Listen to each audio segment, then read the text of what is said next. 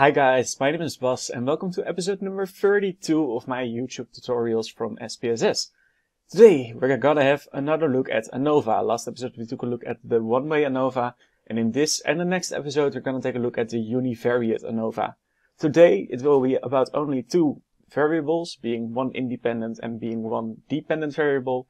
In the next episode I will do another univariate ANOVA but then with two independent variables and only one dependent variable. And in the two episodes afterwards, I'm going to do a multivariate ANOVA, also known as the MANOVA, with uh, both times two dependents, and once with an independent, and twice with a twice with uh, and once with two independents. So this is kind of the schedule for the next episodes. If this video is helpful to you in any way, shape, or form, then please leave a like on this video and subscribe to my YouTube channel. Every bit of support would be hugely appreciated. So we're going to go to our data sets and it consists of, uh, for all these four videos, it consists of four videos being gender, which has only two, which has only two values being men and women, so ma- male and female. And it's about going to a church.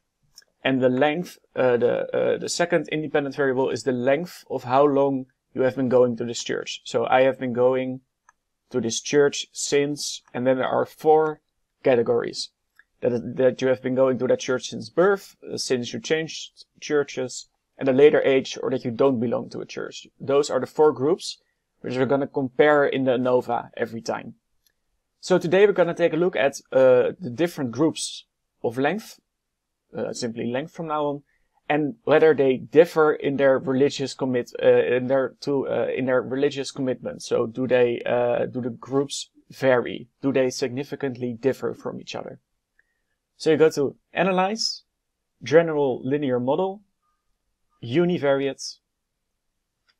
And as the dependent variable, you select, in this case, religious, com uh, religious commitment 1. And the fixed factors, so the groups which we're going to compare, is going to be the length groups. Model and contrast and plots you can leave as this.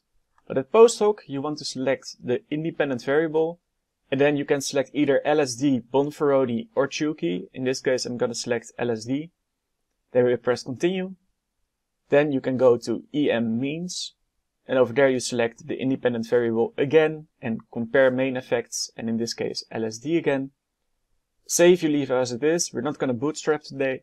And if you go to options, you select the descriptive statistics, the estimates of effect size, the observed power, the parameter estimates, and most importantly the homogeneity test. And then you press continue. Then you press paste and if you then go to your syntax you'll see a new code for the univariate ANOVA, which you uh, select the code of and then press the big green play button, run selection. If you then go to your output screen, then you will get all the tables from the univariate ANOVA. At first you get the respondents, the amount of respondents for each, uh, for each group and we can see that uh, from the four church groups, there are far more respondents in uh, uh, group number one, but even group number three and four have about 40 and 50 respondents, which is okay. Then you can see what the mean is of those four groups in religious commitment. We can see that group number two, so the, the group which changed churches, has a highest level of religious commitment, while group number four, those we don't belong to a church, have the lowest level of commitment and this makes sense. But we want to know whether the, the, these groups significantly differ from each other. That's why we're doing an ANOVA. First, you've gotta take a look at the Levene's test of equality of error variances. And you're gonna look at the highest line based on mean and then at the significance level.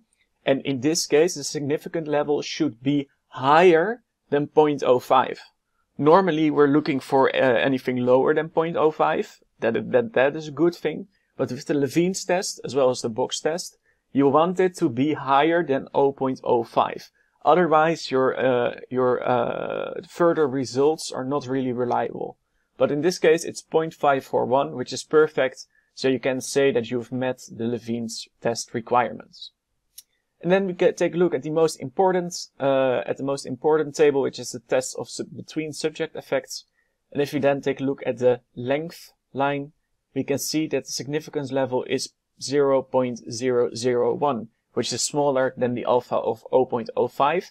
So we can say that there is at least one significant difference between those groups. So uh, probably groups 2 and 4 differ significantly, but we don't know which ones yet. But this is the most important, uh, these are the most important uh, uh values. The F value, its significant, its significance level being uh, 0.001, and the partial ETA squared. And the partial ETA squared explains what percentage of the variance in the dependent variable is caused by the independent variables. This sounds kind of vague, but if you trans if you translate it and use an example, the variance in length, uh, in religious commitment, religious commitment differ uh, has a certain variance, and 0.9% is explained of that variance by the independent variable being length. So not a lot.